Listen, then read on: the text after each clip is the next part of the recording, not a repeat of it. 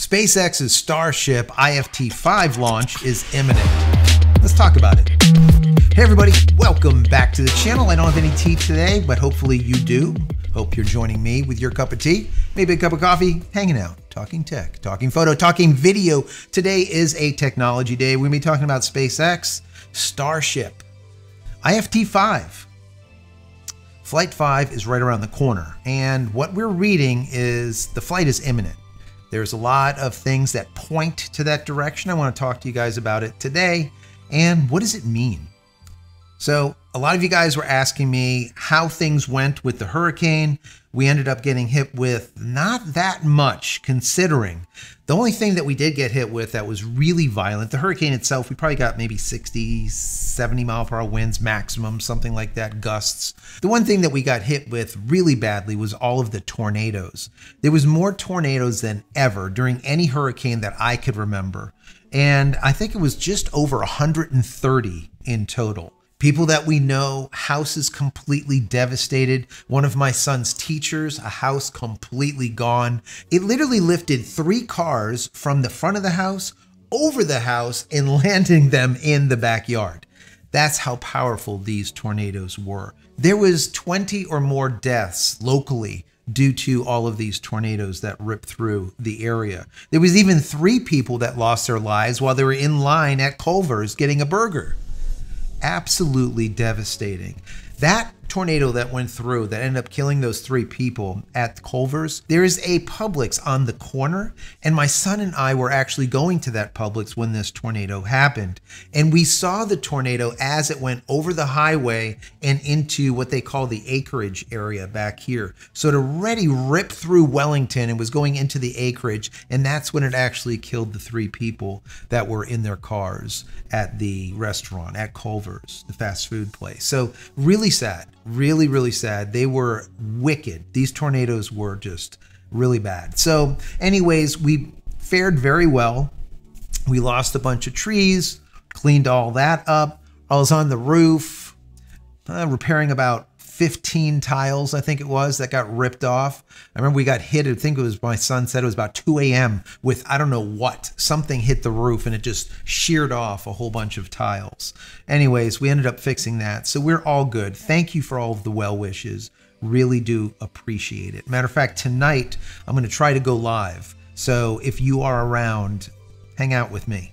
Tonight, as always, is JC Live. We call it Free Speech Friday. So definitely join 8:30 Eastern Standard Time. So, let's get into this article, then I'll give you my commentary and as always, down below I want to hear from you. So it starts out by saying SpaceX and various agencies are now preparing for Starship Flight 5, targeting no earlier than October 13th. That's this weekend.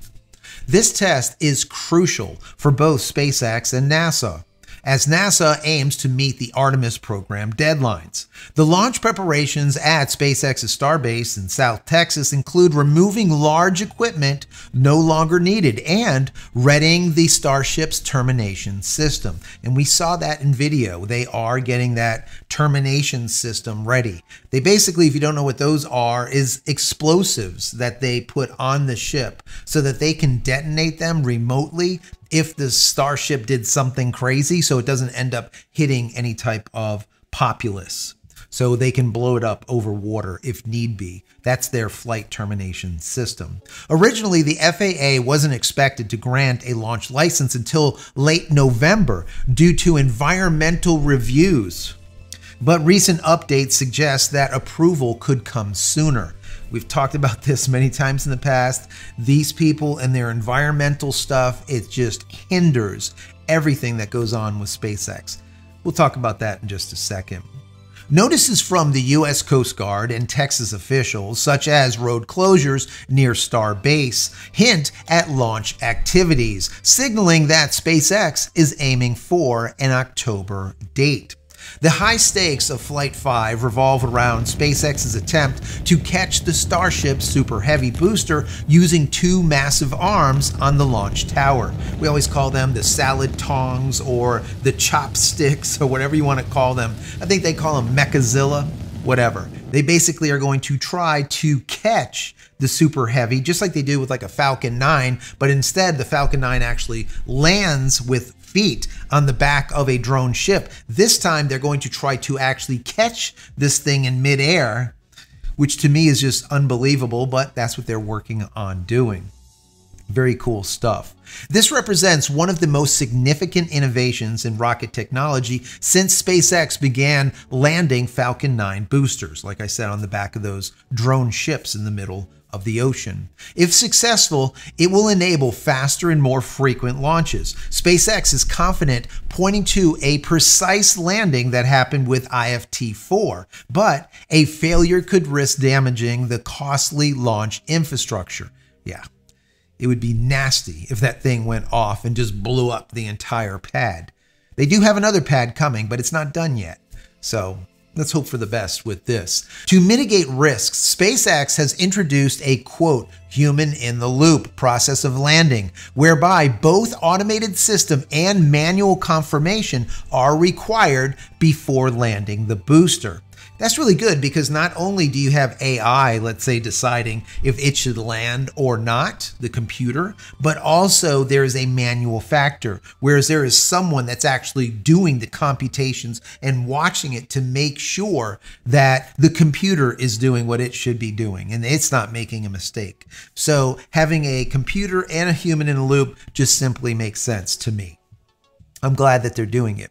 If the catch fails, the booster will splash down in the Gulf of Mexico instead. However, a successful catch could dramatically increase SpaceX's flight cadence, benefiting NASA's Artemis missions. Starship is pivotal for NASA's Artemis program, as it was selected as the human landing system for the Artemis 3 mission, which will return astronauts to the moon. Starship's success or failure will directly affect NASA's ability to stay on schedule for future missions. Even if Flight 5 succeeds, challenges still remain, including political and budgetary issues within the Artemis program. A second launch pad at Starbase is under construction, but not yet operational, which could limit SpaceX's ability to recover quickly from any launch mishaps.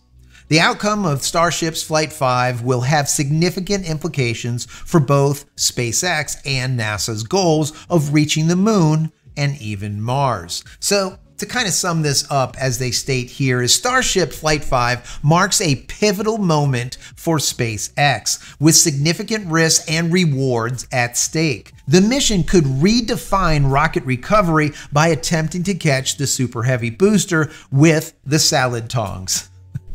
A maneuver that, if successful, would dramatically enhance SpaceX's launch cadence. Absolutely. This is crucial for SpaceX and NASA as Starship plays a key role in NASA's Artemis mission to the moon.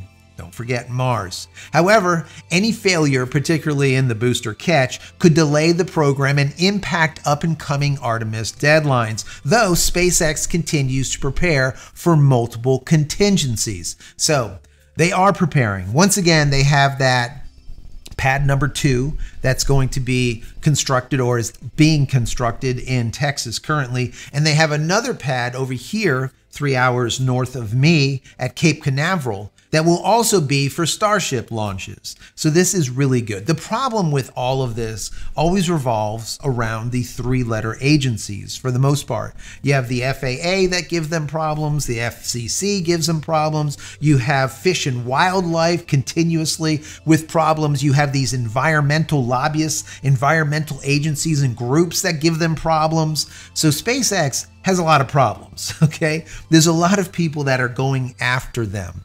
Why that is, that's once again for another video. All right. But all in all, this looks promising. Once again, there's road closures that's going on. There is information that has been found from the U.S. Coast Guard to keep people away from certain areas in the Gulf of Mexico during certain times. So, either way, it looks like it's going to happen within the next week or so. This is amazing to me because I love this stuff. I cover it live, so if you want to hang out with me and watch IFT5 launch, do so. I will be live during the entire thing. I usually go live about a half an hour before launch, and then we usually stay about a half an hour to an hour after the launch and just hang out and have a chit chat of what we saw. So, anyways, I hope you found this video helpful maybe even a little bit entertaining. If you did, throw it a thumbs up. That's very helpful for me. Finally, head over to my website, jcristina.com, where you can find all the photography tools and my merch and my books and my shirts and my tees and everything else. Check it out. See if there's something there that tickles your fancy. If there is, pick it up. Help support me and my family. Many blessings to you and your family. Stay safe, stay healthy, stay connected, and we'll see you in the next one. Love you all.